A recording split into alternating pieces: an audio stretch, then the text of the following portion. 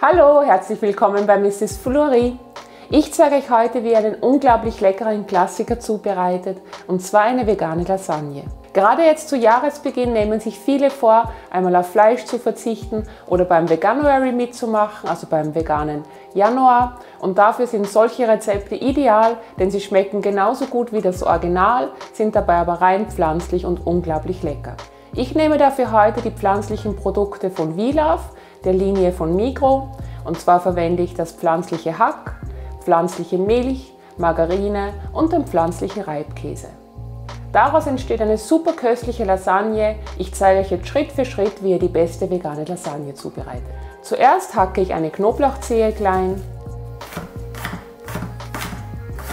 schneide eine rote Zwiebel und eine weiße Zwiebel in Stücke. In meiner Pfanne erhitze ich etwas Olivenöl und brate darin die Knoblauchzehe und die Zwiebeln glasig an. Dazu kommt ein Stangensellerie, den schneide ich ebenfalls in kleine Stücke, sowie zwei Karotten, die ich in Stücke schneide. Die gebe ich zu den Zwiebeln und Knoblauch in die Pfanne und brate sie für so 5 Minuten mit an.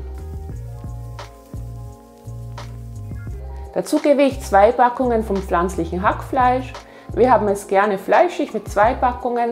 Ihr könnt aber auch alternativ nur eine Packung Hackfleisch nehmen und dazu noch etwas Linsen oder Haferflocken geben oder mehr Gemüse. Das schmeckt auch super lecker als Variante. Das Hackfleisch brate ich mit an.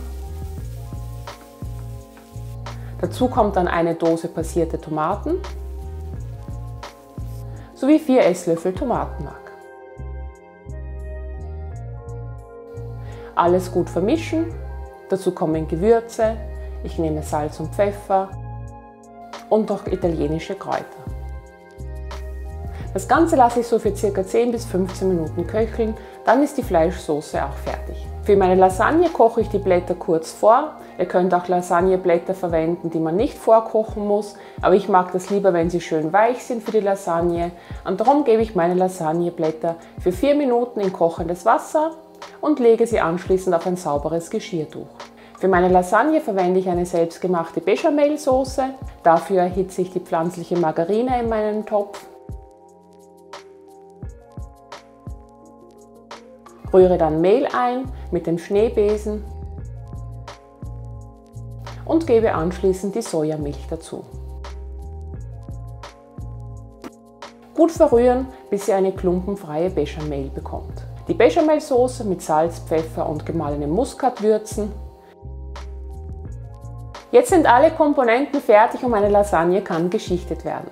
Ich nehme dafür meine Auflaufform, gebe zu unterst zu ca. 2 bis 3 Esslöffel von der Bechamelsoße, verstreiche die Soße und darauf lege ich drei Lasagneblätter. Obendrauf kommt etwas von der Fleischsoße, etwas Bechamelsoße und darauf kommt wieder eine Schicht mit drei Lasagneblätter. Bei mir reicht das circa für drei Schichten.